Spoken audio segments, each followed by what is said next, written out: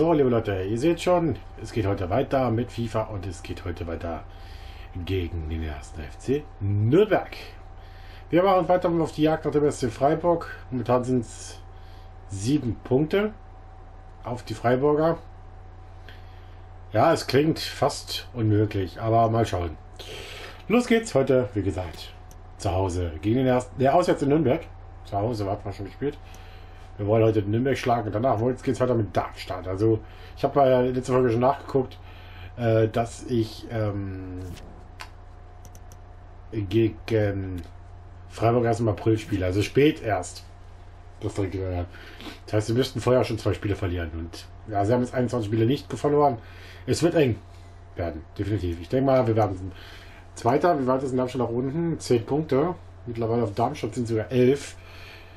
Ähm, da sieht es relativ gut aus, dass wir vielleicht sogar als weiter durchgehen. Aber mal gucken. Ist ja noch ein paar Spiele. Na gut, gehen wir rein ins Match. Beziehungsweise erstmal in die Pressekonferenz. Ich muss leider ein bisschen rotieren. Ihr kennt das. Morgala hat im letzten Spiel die rote Karte gesehen. Sein zweiter Platz war die Saison und beide gegen seinen Ex-Club. Windspiel mit einer roten Karte wegen Platz, äh, wegen Notbremse auf den Platz geflogen. Jetzt mit der roten Karte. Wegen einem absolut unnötigen Foul. Ebenfalls vom Platz geflogen. Na gut. Hm.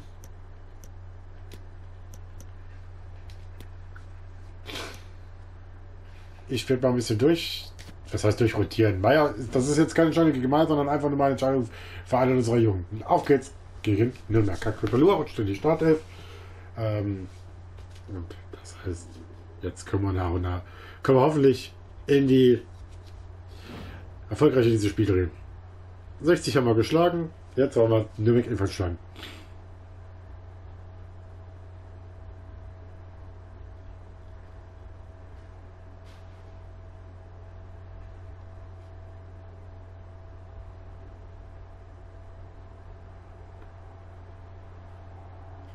Ja, dann.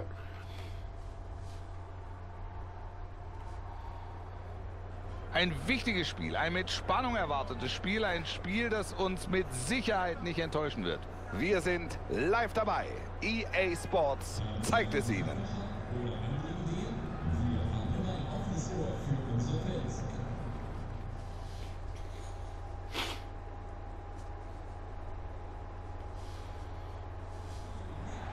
Willkommen, liebe Zuschauer, hier im Max-Morlock-Stadion, wo es heute leider schon den ganzen Tag regnet. Ich begrüße Sie zu dieser Partie. Wolfuß und der Kollege Frank Buschmann sind auch heute wieder das gewohnte Kommentatorenteam. Und auf dem Programm steht heute ein Spiel aus der zweiten Bundesliga. Könnte ein tolles Spiel werden. Ich glaube, das wird extrem spannend heute. Das wird hochklassig. Beide wollen sich zeigen, wollen ein Ausrufezeichen setzen. Und dann schauen wir mal, wem das am Ende wirklich gelingt. Genau so ist es. Spieltag Nummer 22 steht ja schon an.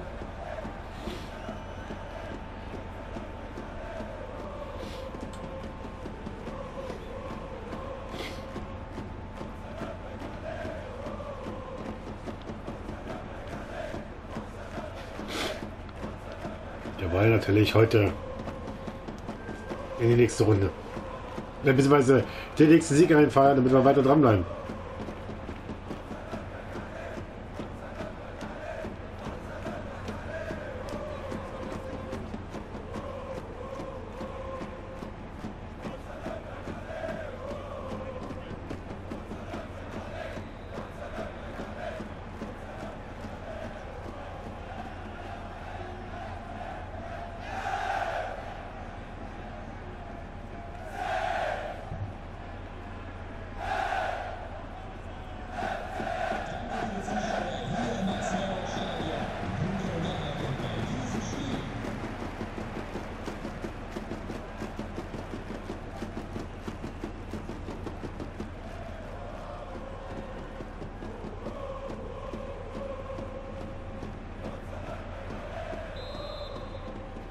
So, auf geht's.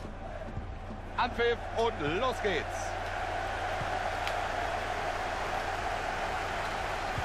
Ah, schade. Geister gut dazwischen gegangen.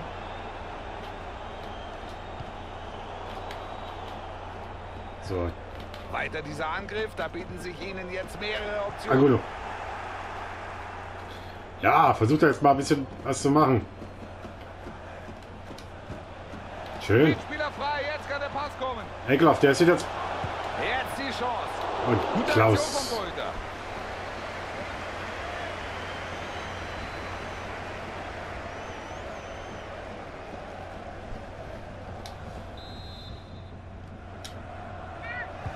Der Ball kommt rein. Ja, schade. Weiter gefährlich. Abseits. Ja, das wäre gefährlich geworden, wenn, da, wenn der Ball in die Mitte ko- gekommen wäre. Aber es war's jetzt.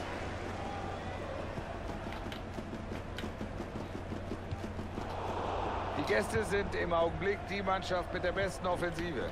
Mit der besten Offensive gehen sie in dieses Auswärtsspiel und ich glaube, sie setzen auch heute wieder genau auf diese Jetzt haben Stärke. wir. Klar, auswärts überlässt man häufiger gerne mal dem Gegner die Initiative, aber wenn du... Ah, Moment, jetzt knallt's gleich. Oh, das war viel, viel Glück dabei. Weil der hätte auch durchaus ins Tor fallen können. Aber ist halt noch nicht. Sie rücken schön nach, bieten sich an. Er spielt steil.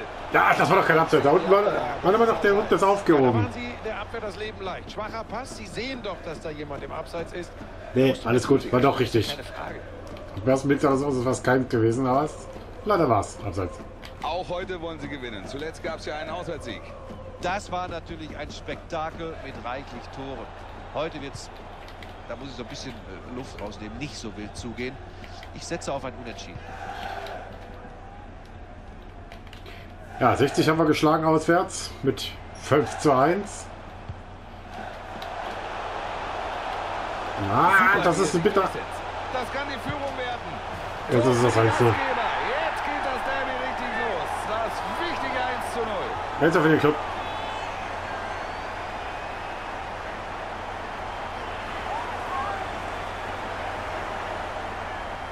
Wir schauen noch mal auf die Wiederholung. Da setzt er sich durch und dann macht er alles richtig. Harter Schuss aus der Halbdistanz. Besser kannst du das Ding nicht verwerten.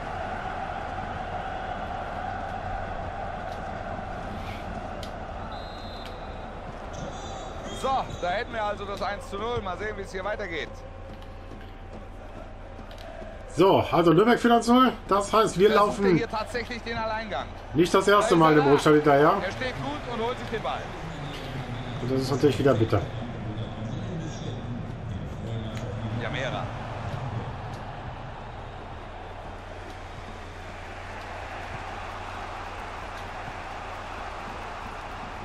Ah, Den Ball.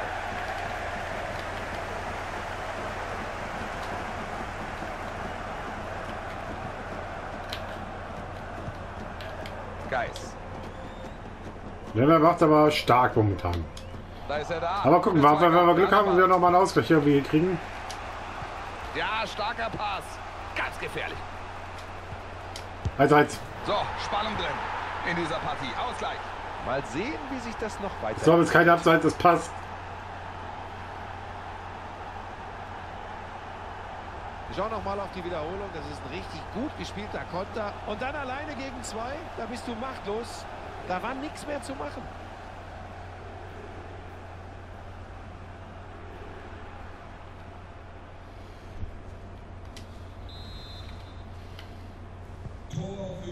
Und damit alles auf Anfang. Es steht 1 zu 1. Eglerfass übrigens. Auch schon Tor Nummer 19, ne? Gutes Technik. Und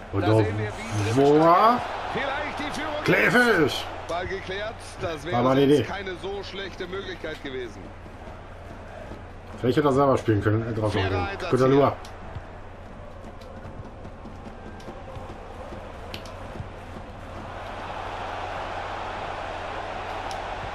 Da kommt die Flanke. Ja, die Idee war gut, aber die Flanke war nicht gut. muss er Freistoß geben. So, mein Gott, was war denn schon da los? Wahrscheinlich wieder abseits des Ball, abseits des Geschehens, das Foul.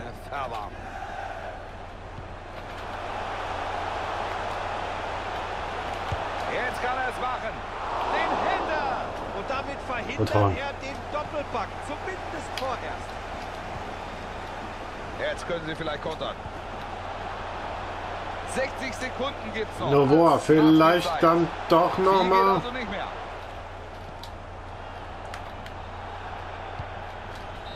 Ja, und dann ist es 45 Minuten sind Durch in der ersten Halbzeit. gehen 1-1.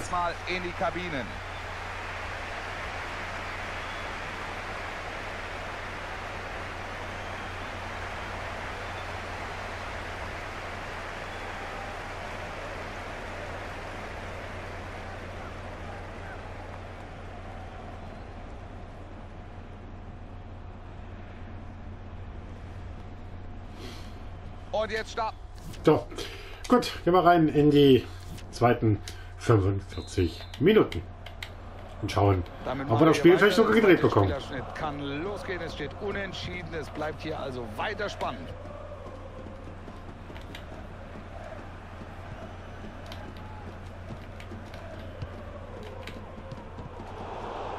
Und quasi unsere Siegesserie so ein bisschen zu wieder halten. Außer St. Pauli haben wir ja letzte Spiele alles gewonnen. Er Aber es wird nicht einfach werden.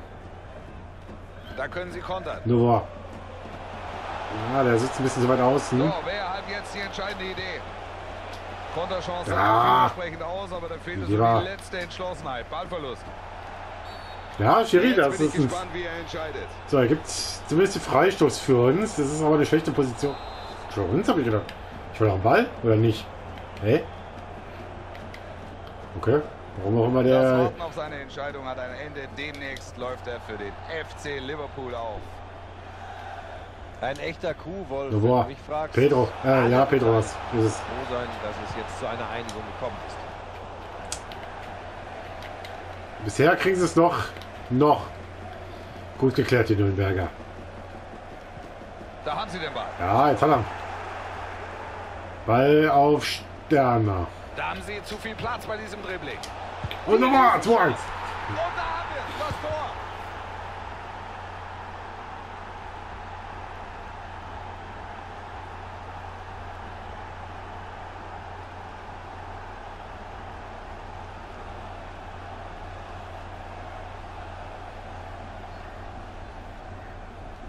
Da kommt nochmal dieser Treffer. Erst der Yes. flache Ball und dann lässt er sich das nicht nehmen, wenn er aus so kurzer Distanz zum Abschluss kommt. Die beiden Tortorjäger treffen jeweils. Aktueller Spielstand jetzt also 2 zu 1.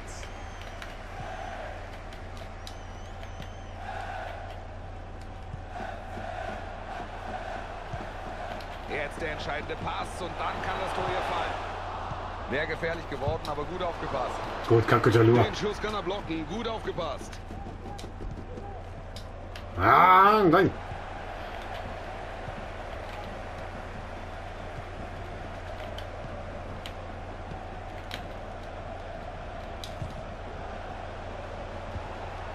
Ball läuft gut jetzt. Ja,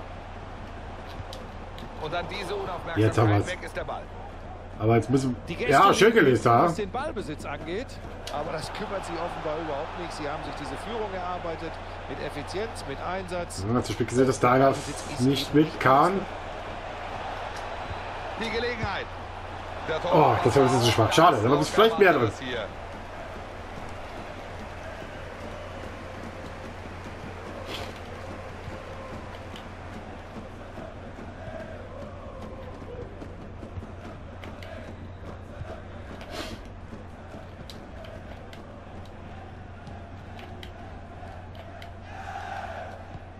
Regulär ist noch eine Viertelstunde zu spielen. Ganz energischer Einsatz. Energischer Angriff jetzt. Sie suchen die Ah. entscheidende Lücke.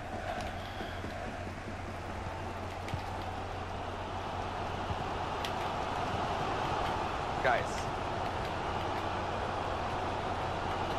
Die Fans geben nicht auf. Sie geben nach wie vor alles. Aber jetzt muss der Funke natürlich auch auf die Mannschaft überspringen. Die muss jetzt noch mal kommen. Ich darf eigentlich gar nicht patzen. Schade. Kommt nicht rein in diesen Zweikampf. Macht er ihn. Erstmal abgeblockt. Ja, Nürnberg ist aber dran. Die wollen. Die wollen. Man merkt, dass das die kämpft, dass sie draufgehen. Der Blick zur Uhr. Noch sieben Minuten. Gleich war es das hier in dieser Begegnung, in der aktuell noch eine knappe Führung für die Gäste auf der Anzeigetafel steht. Ulrich. Sieht alles gut aus. So, jetzt gibt es den Wechsel. Die Wechsel.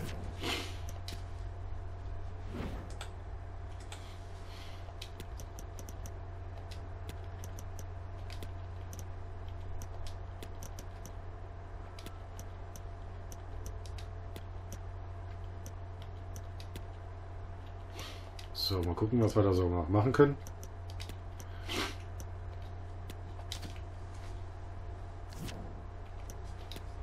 Glaube schon, So. dass sie das hier schaffen können, dass sie sich den Sieg holen.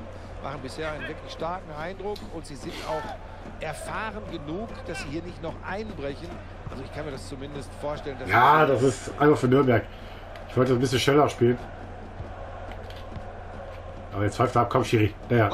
Wo sind noch ein paar Minuten, ne? raus.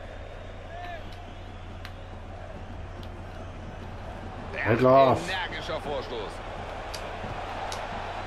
Wichtig natürlich, dass sie da dazwischen gehen. Nachspielzeit eine Minute. Weiter hoffen die Fans auf den späten Ausgleich in dieser Partie. Und mit diesem Yes!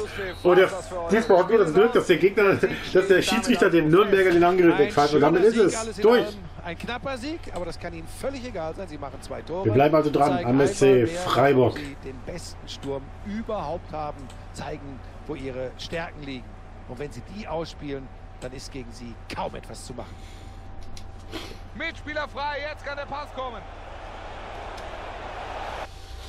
So, Aufgabe jedenfalls gelöst. Pflichtaufgabe gelöst. Nürnberg geschlagen. Derby gewonnen, zweit hintereinander weg. Jetzt aber ist soweit durch. Gut. Gehen wir kurz in die Interviews.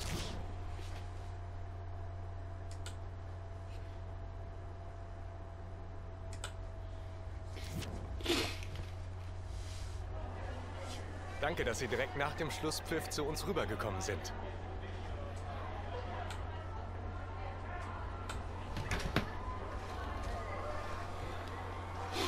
So, Keller, Perspektivspieler, ja. Bin natürlich bereit, aber den Jungs da mal seine Chance zu geben.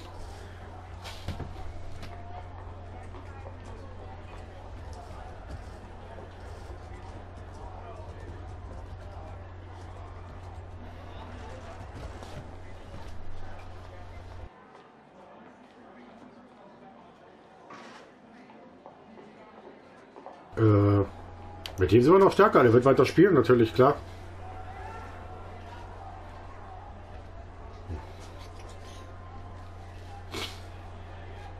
Na, wo sind wir denn nur eine zweite oder Niederlage?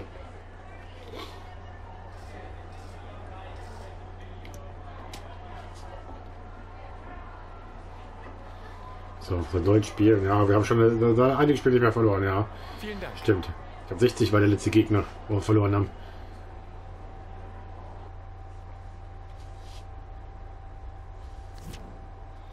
Gut. Und in der nächsten Folge, nächsten Spiel geht es weiter in Darmstadt. beim Tabellen- Oh, das ist schon mal wichtig. Das ist ein wichtiges, wichtiges Spiel. Weil da können wir es wahrscheinlich dann klar machen, dass wir definitiv nächste Runde in der Bundesliga spielen. Aber das schaffen, sind wir dann.